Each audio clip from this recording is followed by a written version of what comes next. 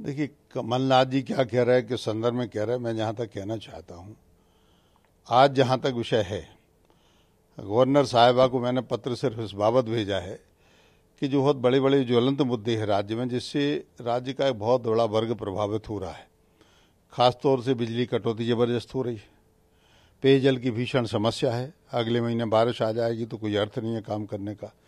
किसानों का भावांतर का पैसा नहीं मिल रहा है। उन्होंने जो अपनी फ़सल बेची है, सरकार को उसका पैसा नहीं मिल रहा है।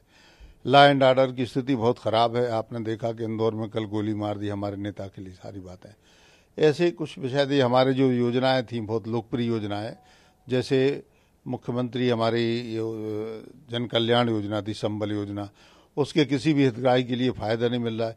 ये सारे लोग महत्व के प्रश्नों को, जो ज्वलंत मुद्दे हैं, जिससे बहुत बड़ा वर्ग राज्य का बहुसंख्यक वर्ग, बल्कि 90 परसेंट लोग जिससे प्रभावित हो रहे हैं, इस पे चर्चा करवाने के लिए मैंने विधानसभा सत्र आहूत करने का राज्यपाल महोदया को निवेदन किया है।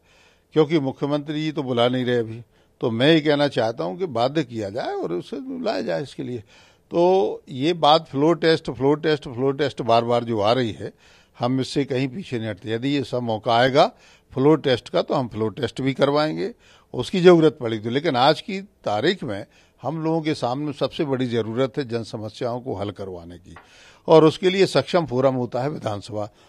अब कांग्रेस पार्टी के दफ्तर से लोग बंडल निकाल के कर्ज माफ़ी के लोगों के ले जाते हैं और पूर्व मुख्यमंत्री के घर पर सौंपते हैं। कोई च्यवन प्रास ले जाएगा, कोई कुछ ले जाएगा, मैं इसको ठीक नहीं मानता। इसको विधानसभा में हम चर्चा करके हल करवानी और यदि कमलनाथ जी ने कहा है कि चार बार हो चुका तो एक बार भी नहीं हुआ।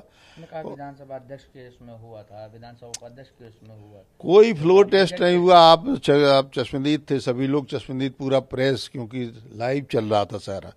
तो आपने देखा होगा कि जब हम लोगों की बात नहीं मानी गई जो एजेंडे में था कि दो कैंडिडेट खड़े थे एक के चार प्रस्तावक थे कि एक अलग प्रस्ताव था हम लोग हम लोगों की तरफ़ से विजय शाह खड़े हुए थे।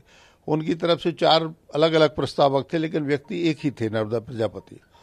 तो जब डिप्टी स्पीकर थे और ये प्रोटेम स्पीकर थे जब उन्होंने उनसे मांग की। कांग्रेस का मतलब दावा है कि 121 जो विधायक हैं वो उनके साथ हैं और उनको पहले भी कई बार खरीदने की कोशिश की गई है बीजेपी तरफ़ से लेकिन वो कहीं डिगे नहीं और अभी भी अल्पमत की जो आप बात कर रहे थे कि अल्पमत की सरकार है वो कह रहे हैं बहुमत की सरकार है देखिए अल्पमत की सरकार तो शुरू से थी। 116 विधायकों में बहुमत होता है 114 विधायक उनके पास थे 109 विधायक हमारे पास थे।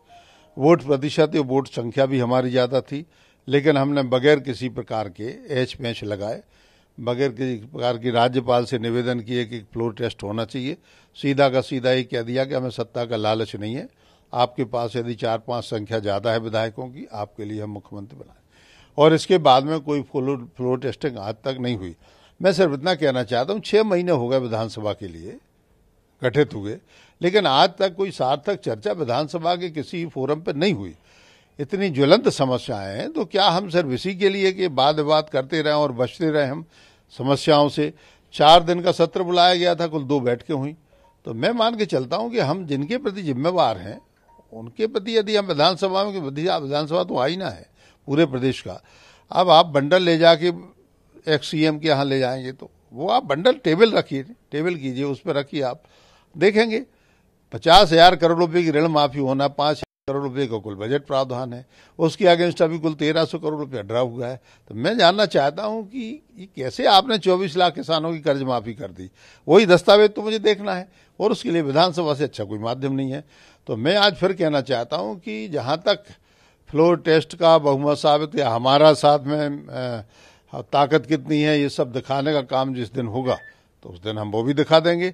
लेकिन अभी हम जन समस्याओं के बारे में ही तो चर्चा करना चाहते आप, आप अल्पमत में ना आपके पास नहीं है उतने नंबर नहीं अगर नंबर होते तो आप भी सरकार बना लेते। देखिए जनमत की उपेक्षा कोई भी जनप्रतिनिधि विधायक सांसद नहीं कर सकता है। यदि जनमत वर्तमान में कांग्रेस के पक्ष में नहीं है तो जो लोग इनको समर्थन दे रहे हैं चाहे वो निर्दलीय हों चाहे बसपा वाले हों चाहे सपा वाले हों और चाहे अन्य लोग कोई नहीं हों उन्हें अपने सुरक्षित भविष्य के लिए देखना होगा और वो हमारे साथ में आ सकते हैं। बीजेपी के कुछ लीडर बताया जा रहा है कि आला कमान नाराज़गी ज़ाहिर करी है आपके इस बयान से कि प्रोटेस्ट हो जाए या फिर अल्पमत की सरकार को लेकर। ऐसी बात सामने आ रही है। नहीं। सच्चाई मानते हैं ऐसी तो कोई बात नहीं है। और हमारा नेतृत्व जो है वो यही उम्मीद करता कि जो भी हो साफ़ सुथरा हो।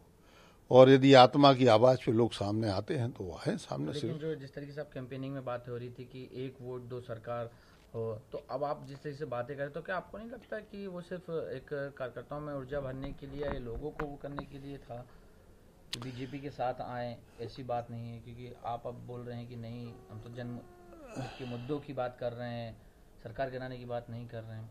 नहीं नहीं ऐसा नहीं है। वो जब हमने सभाओं में इस बात को कहा है और लोगों ने काफ़ी उस बात को समर्थन दिया है। ये बात सही है। आप जो कह रहे हैं वो भी सही है क्योंकि ये बात छुपी नहीं हो सकती। हम हमारे नेताओं ने भी हम लोगों ने सभी सभाओं में कहा है कि ये आप लोगों ने और लोगों ने भी कहा कि ये कहीं ना कहीं चूक हो गई और आप, आप जैसे भी हो आप लोग सरकार में आइए तो कुल मिला के जब चुनाव है और मैं ये भी कह के चलता हूँ कि चुनाव में सही प्रकार के वक्तव्य भाषण ये सब चलते हैं। लोग जिसको पसंद करते, चाहते हैं, नहीं तो लोग कहते, यदि लोगों की इच्छा नहीं होती तो लोग कहते कि आप ये क्या बात कर रहे हैं? अभी चुनी गई सरकार के लिए आप ऐसा क्यों कर रहे हैं? लेकिन लोगों ने काफ़ी उत्साह के साथ हमारी बात का समर्थन किया।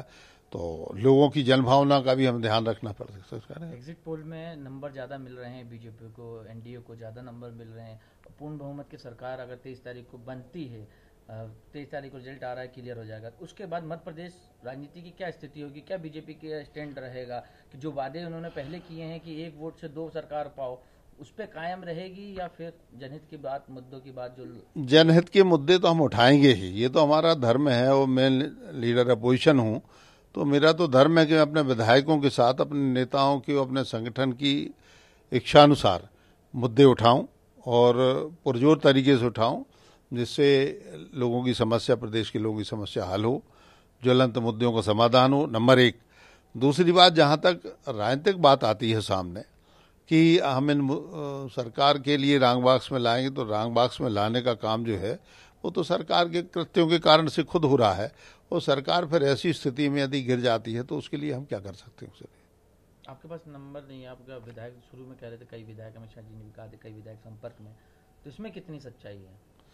नहीं अभी स्ट्रेटेजी जो हो वो पार्टी तय करेगी इस बारे नेतृत्व तय करेगा क्या करना है लोकसभा चुनाव की हर खबर जानने, देखने के लिए आप देखते रहिए एमपी तक। लाइक कीजिए सब्सक्राइब कीजिए और बेल आइकन को प्रेस करना बिल्कुल मत भूलिएगा।